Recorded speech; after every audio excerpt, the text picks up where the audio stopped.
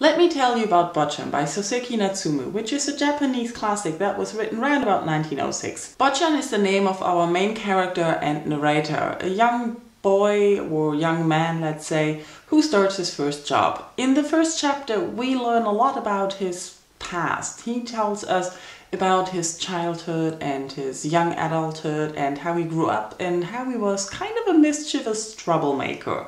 So that's how we get to know Botchan. And then he loses his father and has some money, but starts to study mathematics or physics or something like that at the university.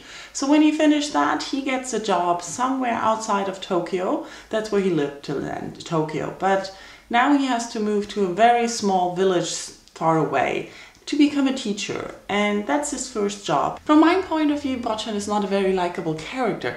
He's rather condescending and always looking down onto people and thinking he knows everything better. At the same time, he's always very annoyed with people when they are not acting and behaving as they should. He's very straightforward and simple-minded, as he repeatedly says, which is part of his character. So at his new school, he has trouble finding friends. He doesn't know how to teach well, he gets in trouble with his students, they play tricks on him, and he doesn't know whom to trust from his colleagues. They play kind of tricks on him too, and he's struggling really hard. And that's what this story is about, him struggling with the other people. Looking at the book, it's a very fast read. It's very short, and the story is interesting and it's really interesting to read about the things that are happening and what's going on and the little intrigues and stuff, but it had me confused. By the end of the novel, I still didn't know what the author wanted to tell me. So I did something I usually don't do. I went and looked at the book.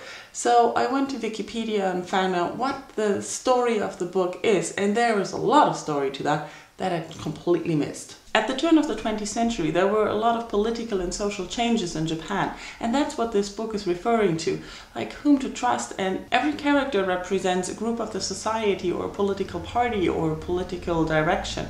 And they're all fighting about Botchan and whom he believes and whom he belongs to. And Botchan himself represents a very moral character. So his morality is part of the story as well, how he's just clearly very moral and criticizing the other characters who are not so moral and lying and cheating and whatever. So looking at all this, I really enjoyed reading the book. Although I have to admit I didn't understand all of the background things on my own, which I don't think doesn't matter too much because you can still enjoy the story. But I think people who are really interested and know things about Japan will get a lot out of this book.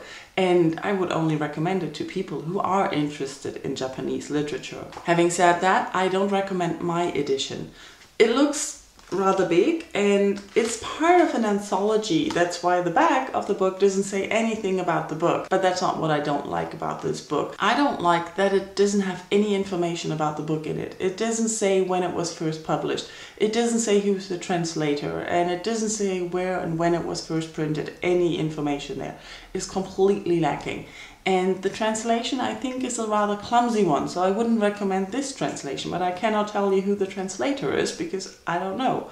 And that's rather frustrating, especially with translations. It's very important to have a good one to really enjoy the book. As usual, I'm interested in your thoughts on Botchan. Thanks for watching and I'll talk to you soon. Bye bye.